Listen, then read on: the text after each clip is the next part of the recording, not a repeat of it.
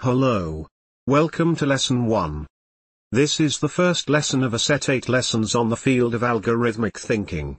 These lessons have been created in the frame of Erasmus Plus KA2 project called Algorithmic Thinking for Migrants Teachers Education. The title of this lessons is called Logical Thinking. This lesson duration is about 75 minutes. We organize the trainees to a group of maximum 15 persons. For the lesson we will need a projector, a questionnaire and a personal computer or laptop for the trainees. The objective aim of this lesson is to teach trainees the importance of logical thinking. What is logic? Logic is a system used for distinguishing between correct and incorrect arguments. By argument, we are referring to the philosophical idea of an argument, namely a chain of reasoning that ends up in a conclusion. Logic includes a set of principles that, when applied to arguments, allow teachers to demonstrate what is true.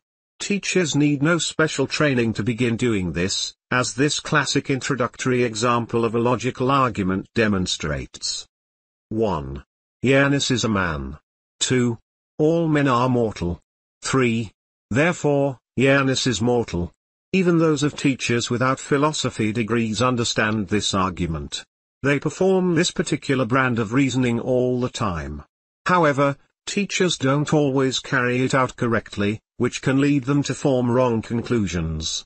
And since they mostly use computers essentially to automate their reasoning for teaching, they must learn to perform logic correctly before writing a computer solution or preparing a learning material. In a sense, applying logic is a way of developing and testing a hypothesis. Using this way of thinking, Applying logic assumes teachers already know at least some things for sure and allows them to use that knowledge to arrive at some further conclusions. Inductive versus deductive arguments. It's important to realize that some logical arguments are stronger than others.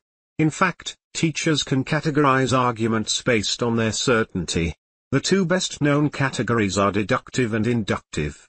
A deductive argument is the strongest form of reasoning because its conclusion necessarily follows from its premises, so long as it has been constructed properly and the premises are incontrovertibly true.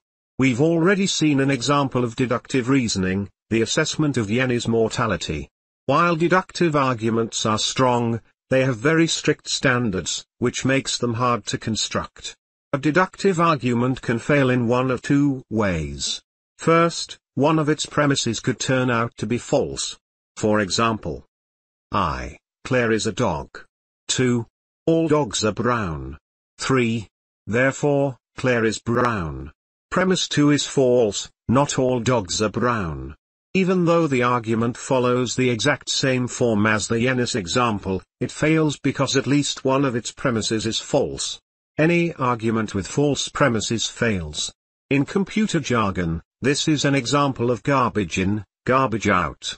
The second way a deductive argument fails is when the conclusion doesn't necessarily follow from the premises. For example, I, all tennis balls are round. 2. The earth is round. 3. Therefore, the earth is a tennis ball. This argument fails because of faulty logic. Yes, all tennis balls are round, but so are lots of other things. In symbolic terms, this argument follows the form, all as are B, C is B, therefore, C is an A, but since this is in an invalid form, the argument is automatically invalid too. Boolean logic. Even though much of our reasoning is inductive, computers are not well equipped to deal with shades of gray.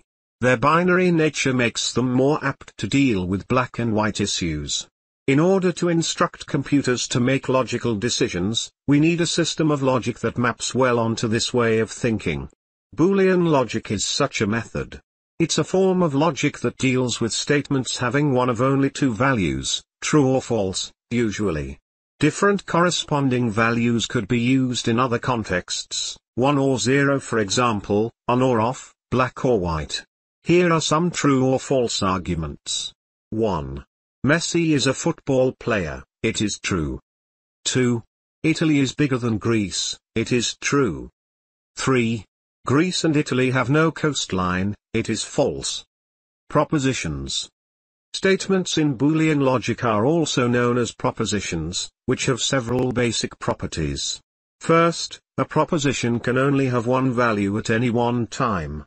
In other words, a single proposition can't be both true and false simultaneously. There is no way to express levels of certainty. True means true, false means false. Consequently, teachers should keep in mind what was said earlier about deductive and inductive arguments, whereas real-life problems often present us with probabilities, the basic Boolean world deals in certainties. Some of teachers' efforts will go into mapping real-world, gray areas onto Boolean black and white. Second, propositions must have clear and unambiguous meaning. For example, a statement like, it is traveling fast, can certainly be evaluated as either true or false. However, it's ambiguous as stated. If it is a car traveling at 150 miles per hour along the motorway, that's certainly fast. Logical operators. Imagine you say, if the weather is sunny and I'm on holiday, then I am going to lie in the garden. You've just used logical operators. That statement contains two propositions, which serve as conditions for whether, or not, you decide to lounge on the grass. I. The weather is sunny. 2. You're on holiday.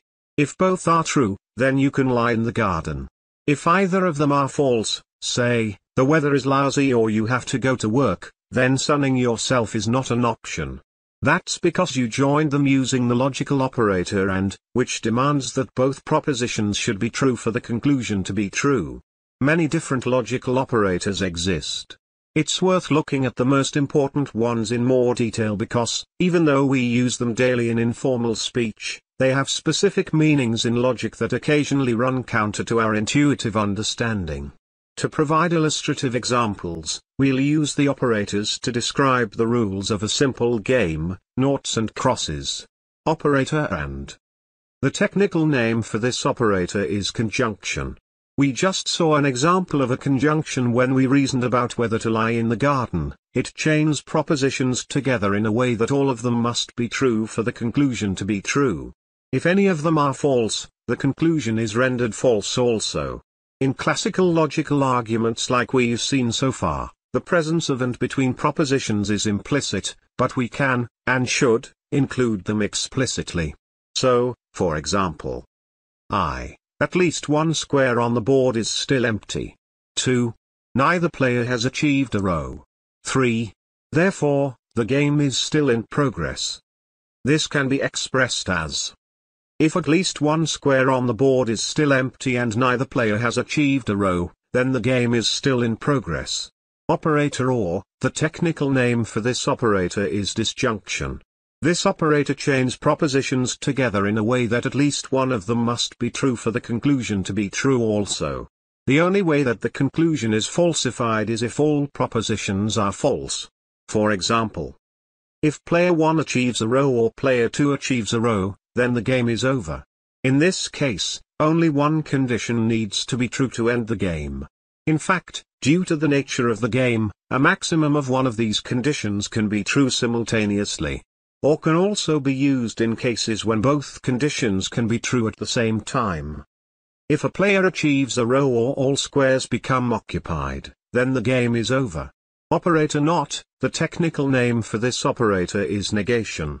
This operator doesn't chain propositions together itself, rather it modifies a single proposition. Specifically, it flips the truth value. Sometimes, negating a proposition can make it easier to express the chain of reasoning. For example, if a square is not occupied, then a player may add their symbol to that square. Lesson activity.